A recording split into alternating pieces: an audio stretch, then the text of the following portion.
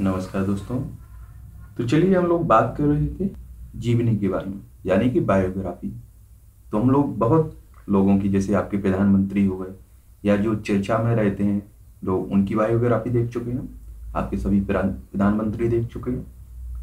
और पहले राष्ट्रपति हम लोगों ने डॉक्टर राजेंद्र प्रसाद के बारे में जान लिया था, उनकी बायोग्राफी देख ली थी। आज बात हम करेंगे इस क्लास में डॉक्टर सर्वपल्ली राधाकृष्णन की बायोग्राफी के बारे में। डॉक्टर सर्वपल्ली राधाकृष्णन के बारे में हम लोग जानेंगे। अभी कल कोई ईमेल पर एसएमएस कर रहा था कि सर वो राष्ट्रपति का चुनाव कैसे होता है? तो याद रखना, भारत का राष्ट्रपति देश का राष्ट्राध्यक्ष होता है और भारत का प्रथम नागरिक भी होता है। और राष्ट्रपति है जो आपका, उसके पास भारतीय सशस्त्र सेना की सर्वोच्च कमान होती है। ठीक है? और भारत के राष्ट्रपति का चुनाव लोकसभा प्लस राज्यसभा प्लस विधानसभा के निर्वाचित सदस्य। क्या? यहाँ एक शब्द याद रखना। निर्वाचित सदस्य। मनोनीत सदस्य नहीं, निर्वाचित सदस्य। इसका, इनका चयन करते हैं। और जैसा कि आपको पता होगा, राष्ट्रपति जी का कार्यकाल पाँच साल का होता है। ठीक है? तो डॉ जो आपके डॉक्टर साहब हैं, ये दूसरे राष्ट्रपति हैं। क्या है? दूसरे राष्ट्रपति हैं।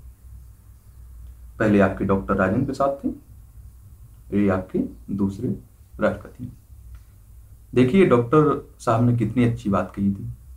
शिक्षक वह नहीं, जो छात्र के दिमाग में तथ्यों को जबरन ठूंसे, बल्कि वास्तविक शिक्षक तो वह है, जो उसे आने वाले कल की चुनौतियों के लिए तैयार करे। देख लिया? ये आपका राधा कृष्णन के बारे में। राधा कृष्णन ने बोला था, ठीक है?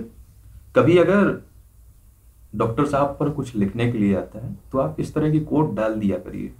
क्या होता है कि आंसर एक देखने में अच्छा लगने लगता है।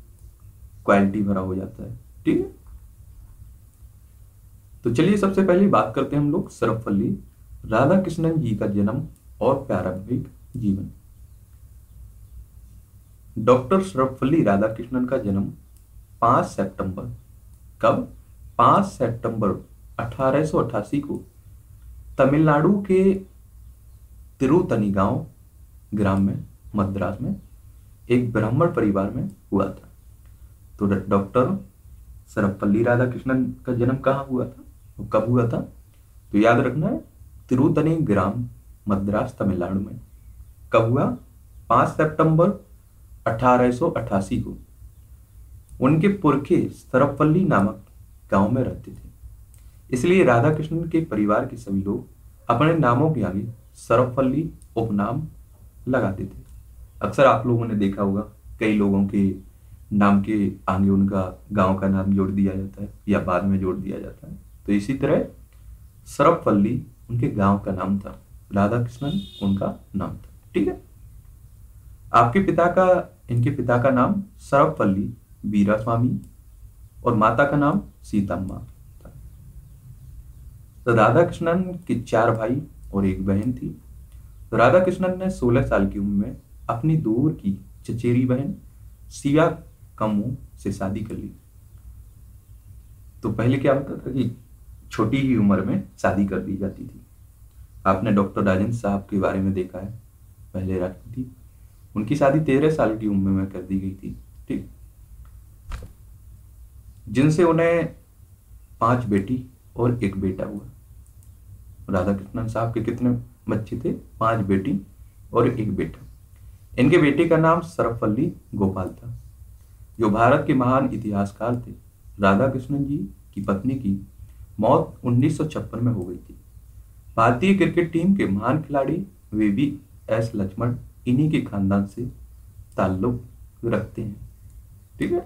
कभी अगर पूछ ले तो याद रखना चाहिए बात करते हैं डॉक्टर सर्वपल्ली राधा कृष्णन की शिक्षा के बारे में, एजुकेशन के बारे में। डॉक्टर राधा कृष्णन का बचपन तिरुमनी गाँव में ही व्यतीत हुआ। वहीं से इन्होंने अपनी शिक्षा की, प्रारंभ की। आगे की शिक्षा के लिए इनके पिताजी ने क्रिश्चियन मिशनरी संस्था लूथरन मिशन स्कूल तिरुपति में दाखला, दाखिला करा दिया, जहाँ भी अठारह से 1900 तक रहे। सन 1900 में डॉक्टर सरपल्ली राधाकृष्णन ने बेल्लूर के कॉलेज से शिक्षा ग्रहण की।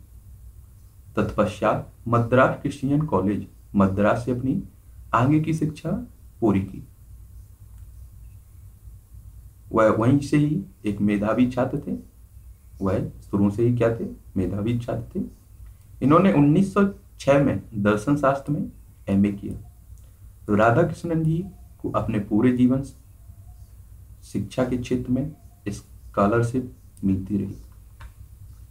अब बात करते हैं डॉक्टर साहब के करियर की शुरुआत की। तो 1909 में राधा कृष्णन जी को मद्रास प्रेसिडेंसी कॉलेज में दर्शन शास्त्र का अध्यापक बना दिया गया। याद रखना 1909 में।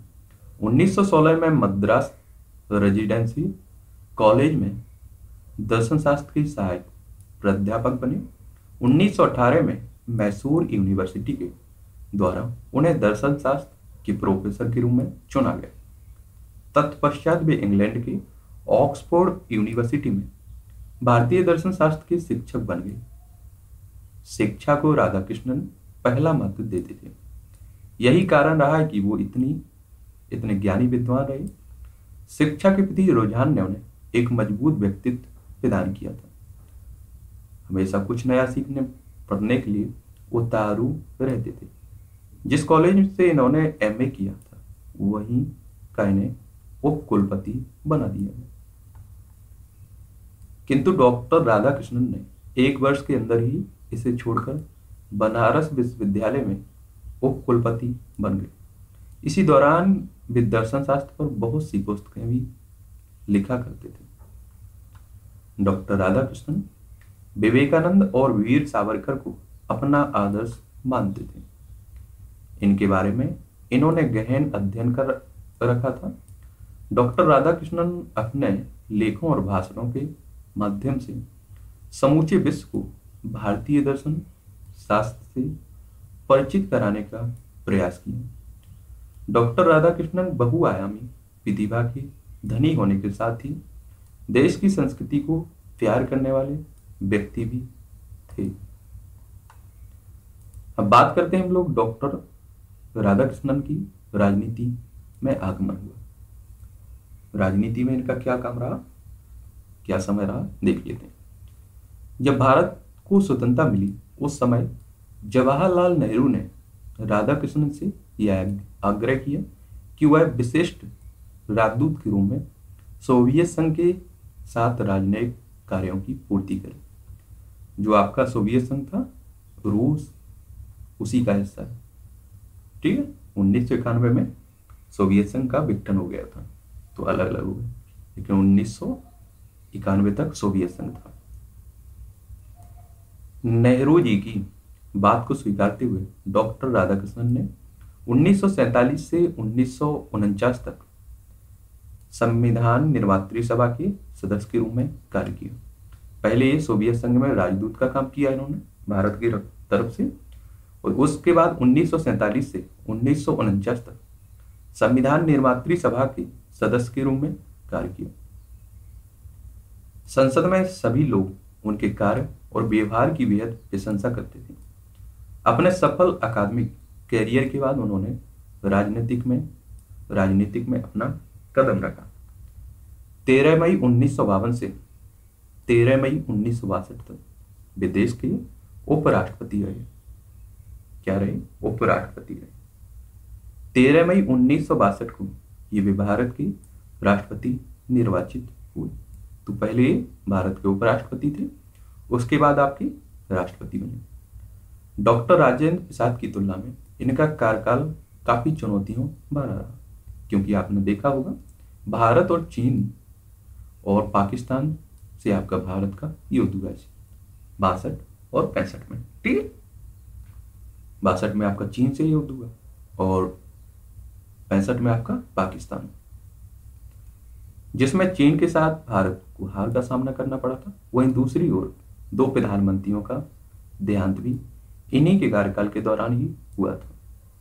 वहीं दो प्रधानमंत्रियों का कार्यकाल आपका इन्हीं के कार्यकाल के दौरान हुआ।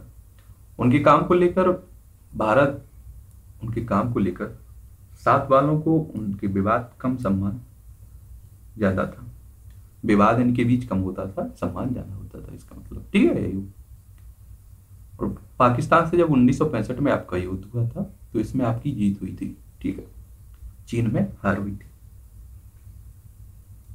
डॉक्टर राधा राधाकृष्णन को मिले सम्मान व अवार्ड की बात करें हम लोग तो शिक्षा और राजनीति में उत्कृष्ट योगदान देने के लिए डॉक्टर राधाकृष्णन को सन उन्नीस सौ चौवन में सर्वोच्च अलंकरण भारत रत्न से सम्मानित किया गया। डॉक्टर साहब को उन्नीस सौ चौवन में भारत का सर्वोच्च सम्मान भारत रत्न से सम्मानित किया गया।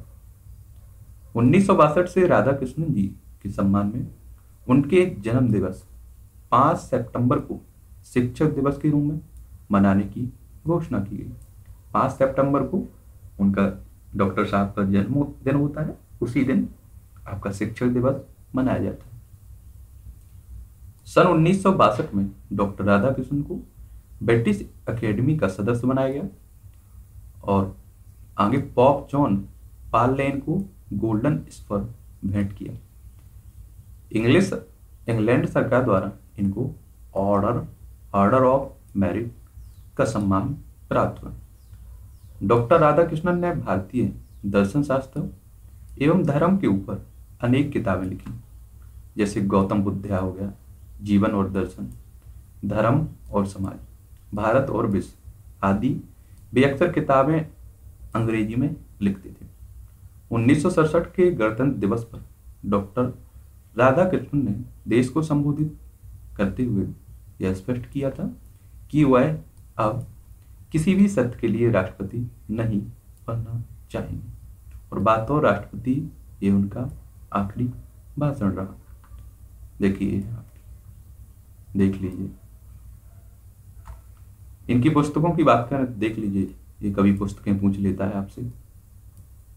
The ethics of Vedanta the philosophy of Rabindranath Tagore my search for truth the reign of contemporary philosophy religion and society Indian philosophy the essential of psychology इनसे संबंधित इनकी बुक्स हैं, ठीक है?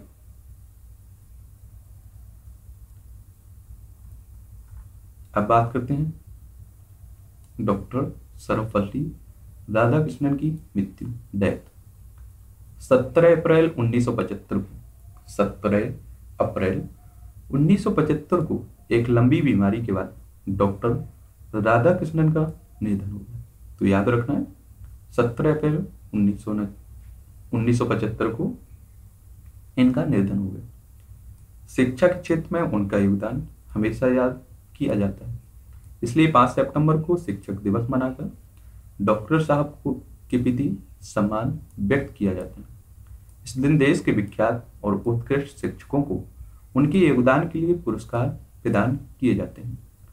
राधा कृष्णन को मरणोपरांत 1975 में अमेरिकी सरकार द्वारा टेम्पल्टन पुरस्कार से सम्मानित किया गया, जो कि धर्म के क्षेत्र में उद्यान के लिए प्रदान किया जाता है। इस पुरस्कार को ग्रहण करने वाले यह प्रथम गैर ईसाई संप्रदाय के व्यक्ति थे। तो ये थे आपके डॉक्टर सर्वपल्ली राधाकृष्णन। तो आगे हम लोग बात करेंगे अगली क्लास में, डॉक्टर जाकिर हुसैन। तीसरे राष्ट्रपति आपके कौन थे? डॉक्टर जाकिर हुसैन। उनके बारे में हम लोग जानेंगे। ठीक है?